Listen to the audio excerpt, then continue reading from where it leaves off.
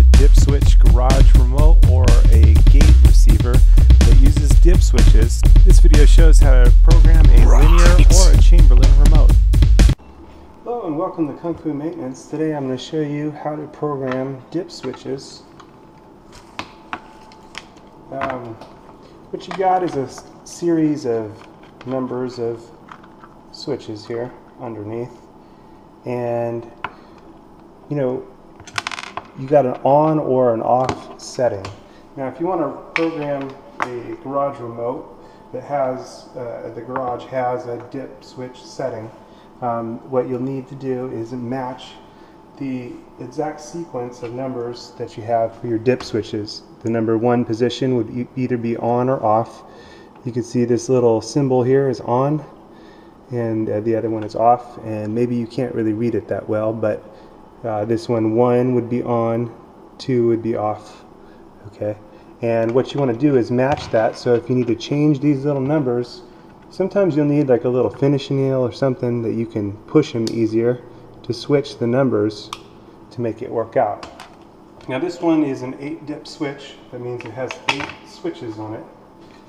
And today I'm going to be showing you programming the Chamberlain dip switch.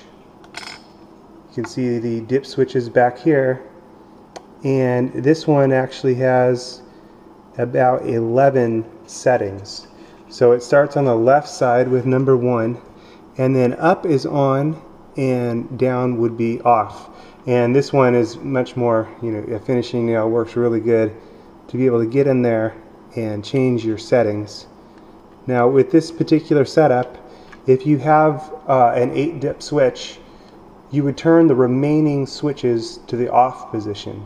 As long as you turn those last ones to the off position, uh, this remote will actually work with an 8 dip switch, even though this has, oh, about 12, yeah, 12 dips uh, in it. So you would just turn the last four off and you would program the first eight and on or off, on or off, matching uh, your existing code. With the Chamberlain remote, well, with the linear remote, once you program your 8 dip switches, it should work with your receiver. Uh, but with the um, Chamberlain remote, you have to go through the next setting, which is uh, when you're by your garage, you're going to push your learn code button, and it's going to start beeping here. And then I'll, I'll go ahead and show you here.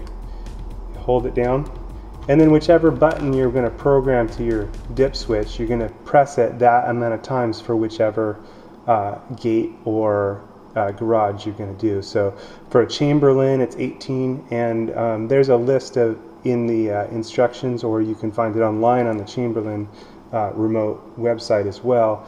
But anyway, you're going to push it the number of times. So mine would be 18, so I'm going to go one, two, three, four, all the way to 18. Once you reach 18, the remote, the garage or the gate should respond.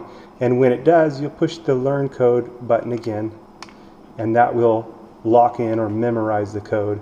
And now every time you push your button, it should open your gate and close your gate uh, correspondingly. So anyway, that's um, programming the dip switches on a Chamberlain remote or on a linear uh, remote or an 8 dip switch or using um, how you can actually use a uh, larger dip switch setting you're just going to turn the remaining ones to the off position and uh, 99 times out of 100 that's it and it works and you match your settings now if you run into a situation where you've set your settings uh, and you've matched it to your deal and it doesn't work uh, no matter what you do, you try programming it and da da da da. What you might try is reversing it, changing off and on exact same pattern before, but uh, going the exact opposite.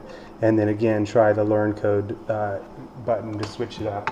Um, but anyway, and you can find more information about this on the Chamberlain uh, website. I don't work for Chamberlain or anything. I just think this is a great little remote. Pretty cool because you can program more than one gate or more than one garage uh, with the same uh, clicker and you can program it for a smart learn code button or for a dip switch uh, setup. Anyway, thanks for watching Kung Fu Maintenance. Over now. Oh, and if you want to see how to program using the Learn Code button, check my video on how to program uh, a Chamberlain Universal Clicker uh, for a Learn Code button. Okay, and here you can see me operating the gate with it. You hear that little click. It's engaged. Uh, my gate's set open during the day, so uh, but it's enough to show you that it is working. So each brand of garage door is going to have different instructions